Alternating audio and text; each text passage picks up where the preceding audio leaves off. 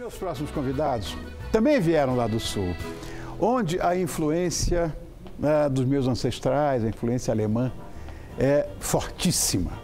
E eu tenho certeza que esse casal eh, que está aqui eh, vai adorar, até porque estão acostumados. Ele protagonizou uma das maiores tragédias aéreas do país, em que a delegação da Chapecoense viajava para Medellín, todo mundo se lembra disso na Colômbia, e por um milagre ele ficou entre os seis, meia dúzia de sobreviventes. Ela, sua noiva, a coisa mais linda do mundo, ele tem um extremo bom gosto, acompanhou de perto os momentos de angústia e aflição ao lado da família e amigos. E juntos eles superam o trauma e contam como foi esse momento que gerou comoção nacional. Olha que coisa boa, eu estou aqui com o Jackson Fallman, obrigado. Grande goleiro e agora e agora embaixador da Chapecoense. Ficou insuportável. Ninguém aguenta mais. E Andressa Perkowski. Aí já é outra coisa. Perkowski já é, já é, aí já é polonesa, já é uma coisa diferente, né? Muito obrigado por terem vindo, viu? Obrigado. Agradece. Não, por favor, deixa eu agradecer. Ser por minha conta eu agradecer. É Forma, olha, eu vou dizer uma coisa. Depois que eu vi o teu caso, eu passei a acreditar que milagres acontecem. Honestamente, todos nós acompanhamos com muita tristeza e eu com uma coisa de dever de ofício, eu sou aviador. E, e- em função de eu ser piloto, eu e desse acidente que agora está completando um ano, eu vou dizer, eu seguramente, se eu tivesse passado por isso, eu não teria nenhuma memória do que aconteceu. Eu não sei se isso tem com você. Você se lembra antes, no meio, depois, o que aconteceu? É difícil, porque você está numa situação de absoluta aflição. Né? É, na verdade, eu lembro muitas coisas. Você lembra? Consegue lembrar? lembro, lembro bastante coisa. Eu lembro que a gente estava fazendo um voo super tranquilo. E uma hora para outra, os motores se desligam, as luzes se apagam e fica um silêncio, né? Um silêncio. É, todo mundo vai sentar nos seus lugares, colocar o cinto. E aí você começa a passar muitas coisas na sua cabeça, né? O que está acontecendo? O que é, a gente eu particularmente sabia que alguma coisa de grave tinha acontecido porque poxa, você se depara numa situação que você está dentro de um avião, se desliga os motores, se desligam as luzes, você não tem para onde correr e só nos restou rezar, pedir a Deus que nos protegesse, que nos livrasse do pior. André, como é que você ficou sabendo dessa tragédia? Deve ter ficado doida. Ou não? Fiquei sabendo, eram umas três horas. Ah, e fiquei sabendo por um aplicativo de celular que eu tinha junto ao grupo das esposas. E quando eu olhei a primeira mensagem, eu abri e tinha diversas mensagens perguntando onde os, os guris estavam, se eu já sabia de alguma coisa. E a primeira mensagem foi: os guris já chegaram? E isso era uma meia-noite e meia. Daí foi indo mensagens em sequência, passando diversas. ah, daí chegou uma assim: vocês viram que caiu um avião? E é o da Chapecoense? Daí naquela hora a gente fica meio anestesiada, a gente não sabe o que está acontecendo. E daí eu fui para frente da TV e comecei a ver as notícias que elas eram muito vagas, ainda não tinha muita coisa, muita explicação. Só dizia que o avião tinha feito um pouso de emergência, que já tinham socorrido seis pessoas, não havia nenhuma pessoa morta ainda, enfim. Aí era umas 5 e meia, deu que o Jackson era um dos sobreviventes. Ai. Mas as notícias elas não se Desencontraram, encontravam, elas eram muito confusas. O hospital que o Jackson foi, inclusive, ele era muito distante dos outros, porque como o Jackson tinha fratura exposta, amputação e tudo mais, foi para um hospital especializado em amputações. Chegando quase em Chapecó, ele eh, saiu na nos meios de comunicação que tinham amputado a outra perna dele. E quando a gente chegou em Chapecó, realmente eu recebi diversas mensagens me dando os pêsames, porque dava que o Jackson tinha ido a óbito. Daí chegamos ao clube, enfim, porque a gente estava procurando um meio de transporte para ir até a Colômbia. E chegamos na Colômbia, para amanhecer sexta-feira. Então, Olha, eh, de qualquer maneira, teve a coisa boa. O primeiro encontro de vocês depois do acidente. sim. Muitos beijos, muitos abraços, muitas Tava lágrimas, sedado. muitas coisas. Né? Não podia dar muito beijo. Né? Não. Não Por sabia. que, Jack? Você estava sedado lá, né? Eu tava sedado e. Entubado. Poxa, entubado também.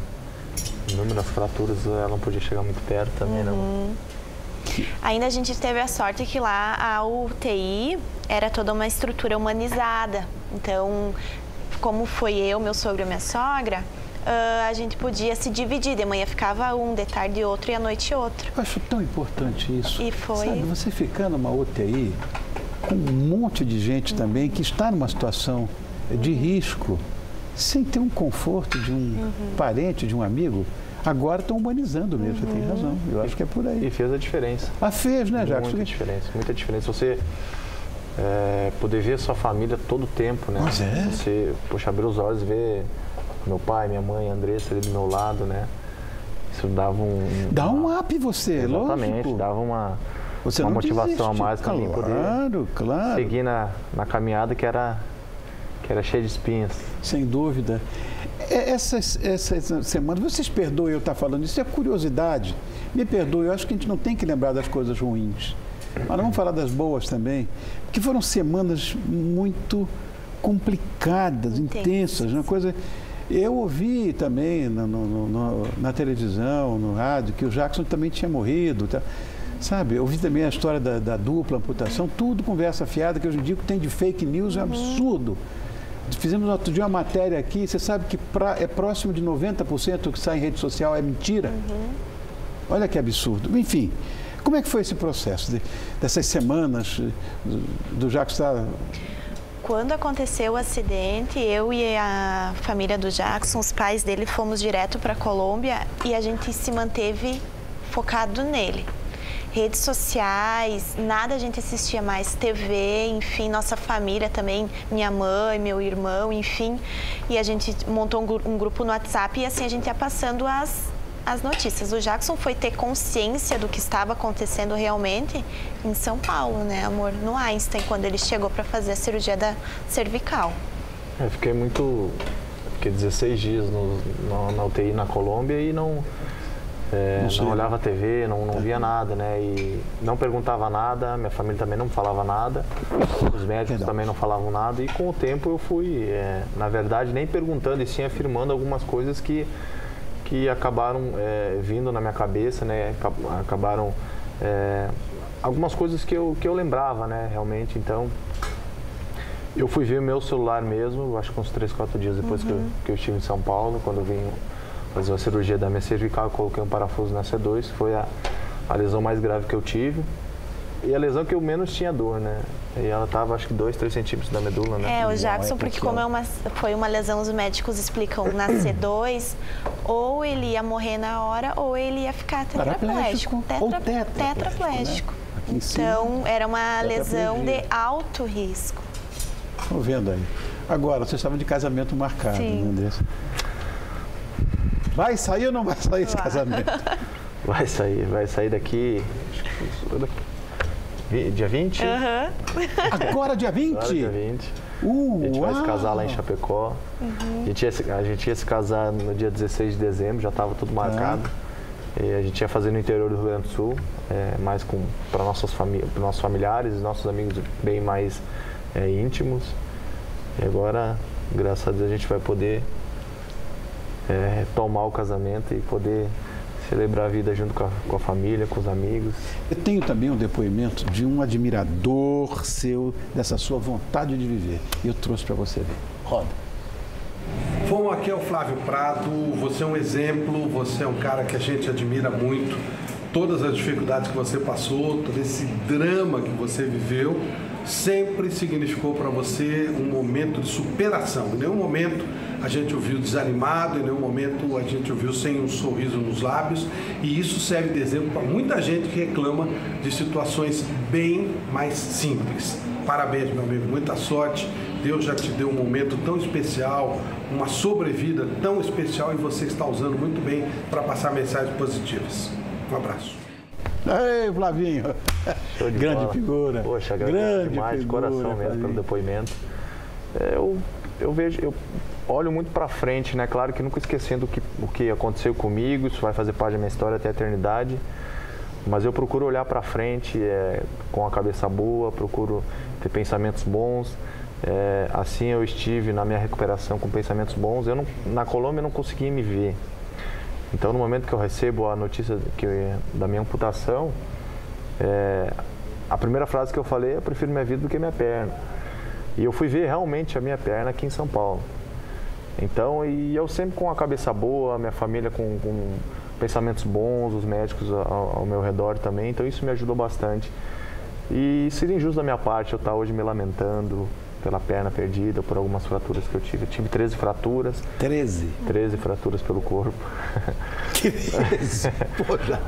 E, poxa, mas é, eu seria injusto comigo, com Deus e com, com as famílias que perderam seus entes queridos, estar tá reclamando claro. de alguma coisa. Eu claro. procuro sempre agradecer a Deus, valorizar muito as coisas simples da vida e tocar minha vida, sempre com um sorriso no rosto. Eu nunca, tô deix... nunca deixei de ser é, o Fomo, o Jackson de sempre, né? Antes do acidente, eu sempre é, deitei, fui dormir dando risada, acordei dando risada, então eu sou feliz com a vida.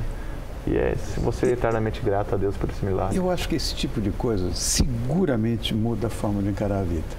Muda. Não sei se isso aconteceu contigo, mas eu tenho quase que certeza de que sim, de que isso é assim. E, e outra coisa, o grande exemplo que você passa é não só de superação, mas, na verdade, para mostrar que que você está bem mesmo com você mesmo, que isso é uma coisa traumática. Você continua voando. Ah, Sabe, tô... isso é fundamental.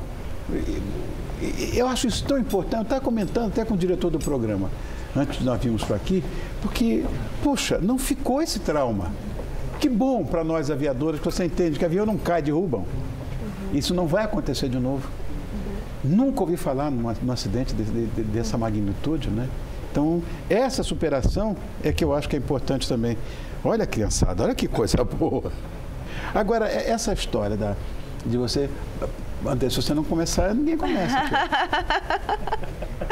então vamos você lá. Vai. É, essa história de, de, do embaixador da Chapecoense, conta para mim essa história. Que é, esse aqui, ó, ele é de lá também. É, a gente estava é, conversando com o Catarinense lá, também, em Botuporanga. Na verdade, é, embaixador é, é, é ligado às relações públicas. Eu procuro sempre a, acompanhar o presidente, participo de muitos eventos e algumas reuniões que o nosso presidente não pode estar presente, eu, eu vou lá e represento o clube. Também todo esse mundão afora que a gente está viajando, procurar sempre levar o nome da Chapecoense, contar minha história junto, contar a história do clube. Então, eu, hoje eu faço isso dentro do clube e também estou estudando para ser um gestor dentro do clube. Quero ser um gestor. E só que requer um tempo, né? Então. Claro, você é menino também, pô, mas você é menino de tudo. Mas estou muito feliz, o clube também está dando maior suporte para a gente, isso é importante. O Brasil está dando. Exatamente. Eu te digo assim, Rony, eu acho que é o mundo todo, porque a gente viajou para Barcelona, para Itália, a gente passou pela Alemanha, passou em vários lugares, as pessoas nos reconhecem, sabe? Batem foto com a gente, vêm dar um abraço na gente. Então a gente viu, vê mesmo que isso comoveu o mundo todo, não só o Brasil, e sim o mundo. E o carinho das pessoas é, é, é muito bacana com a gente, é muito prazeroso você ter esse carinho. Você vê mesmo que as pessoas elas elas torcem por você, elas têm um carinho muito grande por você. Então isso nos motiva muito para a gente seguir a nossa vida, seguir a nossa recuperação, nossa caminhada. Então isso está sendo e sempre foi muito importante para nós. Uma coisa eu tenho certeza, Paulo, a gente só tem aquilo que merece ter. Então você é um vencedor porque você merece, você é um ser humano merecedor. Obrigado. E essa história sua em relação à própria Chapecoense, de você desenvolver essa história de gestão de clube, que é um. Você sabe que não, não é uma coisa simples, mas é uma pretensão importante no esporte, que é, na verdade, eu acho, o elo mais, mais forte que existe hoje em relação à sociedade esporte. É verdade não é? Pessoal da operação, todo mundo rindo, olha, todo mundo feliz com a presença de vocês. Isso aqui não acontece, não. Fica, assistente de câmera ficar assim, não ficam, não, eles ficam atrás da câmera. Vem todo mundo para frente para ver vocês olha, com um sorriso. Lindo ah, isso. Ah, isso não tem preço. Olha, muito obrigado por terem vindo. Parabéns. Agradecemos. Chico, você é insuportável. Oi. É insuportável. Tá Olha, teu Iceberg, eu vou dizer, é o melhor. Nem a minha tia Laura que faziam igual. Não, você é campeão. Obrigado, viu, querido? Obrigado sempre. E nós, vamos, nós vamos jantar Não, agora de muito bom. verdade, que ninguém é. Aqui somos filhos de Deus, né? E ainda tem ali um, um Apfostrudo. Ah, sim. Fazer um brinde? Vamos. A vida. A vida. A vida. Andressa, felicidades para vocês. Obrigada. Viu? Obrigado. Coisas lindas. A partir de hoje, óbvio que o tio Rony vai falar. A partir de hoje começa os melhores dias da sua vida. Começam. Amém. Hoje é o primeiro dos melhores dias da vida de vocês. Amém. Saúde. Obrigada. Saúde. Saúde. Ó, depois desse exemplo maravilhoso de superação, no próximo bloco a gente vai também comemorar a alegria de viver. Inimigos da HP. Ah, legal. Me espera, a gente já volta. Saúde.